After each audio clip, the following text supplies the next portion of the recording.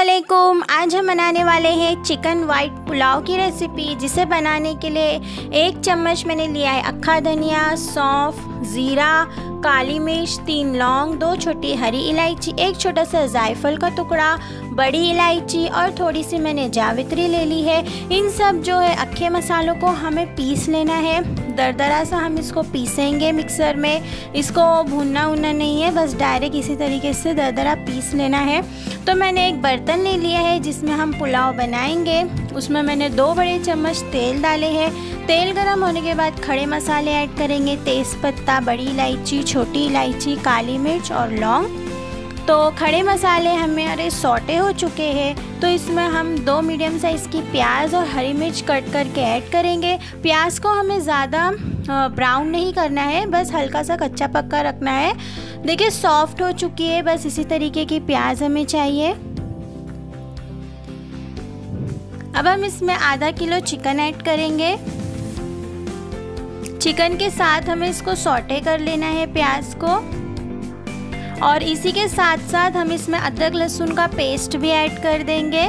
दो चम्मच अदरक लहसुन का पेस्ट ऐड करेंगे और अदरक लहसुन के साथ हम चिकन को अच्छी तरीके से भून लेंगे। इसको अच्छे से भूनना है। इसका कच्चापन ख़त्म होने तक। और अभी तक अगर आपने मेरे चैनल को सब्सक्राइब नहीं किया है तो जल्दी से जाकर सब्सक्राइब कीजिए और बेल बटन को ज़रूर दबाएँ।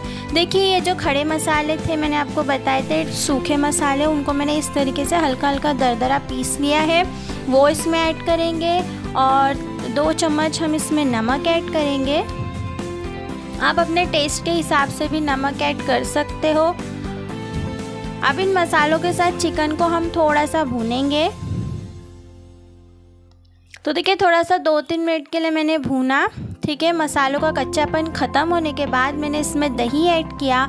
आधा कप हम इसमें दही ऐड करेंगे अच्छे से फेंट कर। आप चाहे तो इसमें थोड़ा सा पुदीना भी कट करके ऐड कर सकते हो। मैंने ऐड नहीं किया है। मैंने इसमें हरा धनिया ऐड किया है कट करके। बहुत ही इजी रेसिपी है और बहुत इजी भी बन जाएगी। कुछ इसमें ज़्यादा इंग्रेडिएंट्स भी नहीं है। सिंपल ही इंग्रेडिएंट्स है और सिंपल ही रेसिपी है। पर खाने में बहुत टेस्टी है। आप इसको ज़रूर बनाकर ट्राई कीजिएगा। दही और हरा धनिया कट करके डालने के बाद इसको हम अच्छे से मिक्स करेंगे। दो मिनट पकाएँगे दही के साथ। अब इसमें मैं थोड़ा सा पानी ऐड कर रही हूँ। आधा ग्लास के करीब पानी ऐड करेंगे।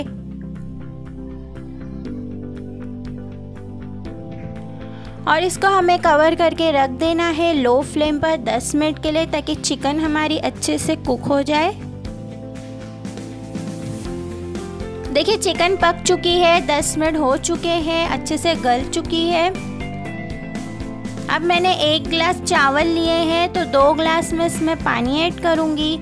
पानी ऐड करने के बाद हमें इसमें फुल फ्लेम पर उबाल आने देना है।